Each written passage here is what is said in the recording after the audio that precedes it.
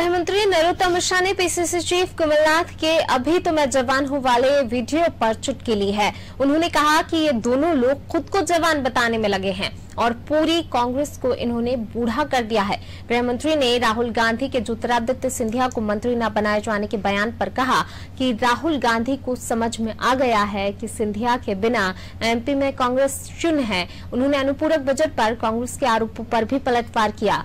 गृह मंत्री ने कहा कि कांग्रेस से यही उम्मीद थी तो लगे हाथ उन्होंने ममता बनर्जी पर भी निशाना साधा। तो एमपी में बढ़ते कोरोना के मामलों पर भी चिंता ज़ाहिर की है।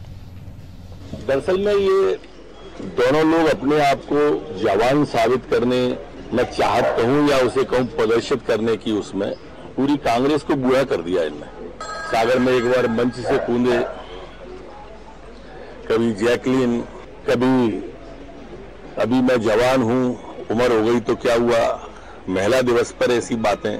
पता नहीं उन्हें क्यों शोभा देती, मुझे तो शोभा नहीं देती। बहुत जल्दी समझ में आ गया आदरणीय राहुल गांधी जी को कि बिना सिंधिया के मध्य प्रदेश में कांग्रेस शून्य है।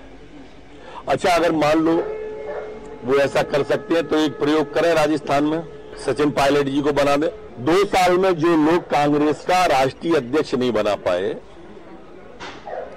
वो मुख्यमंत्री बनाने की बातें कर रहे हैं। कहा था, दूल्हा बना के मुख्यमंत्री के रूप में पेश कर दिया उनको। पूरे चुनाव लड़ा सिंधिया जी के चेहरे पर और जैसे ही सरकार बनी तो बुज़ुर्ग से भावने कर दिए ग्यारह दिन में कर्जा माफ़ कर देंगे, पंद्रह दिन में कर्जा माफ़ कर देंगे।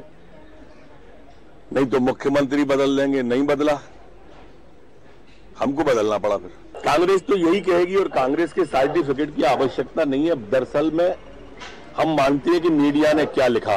हम मानते हैं अर्थशास्त्री क्या बोले। हम मानते हैं व्यापार जगत क्या बोला, चैम्बर क्या बोली।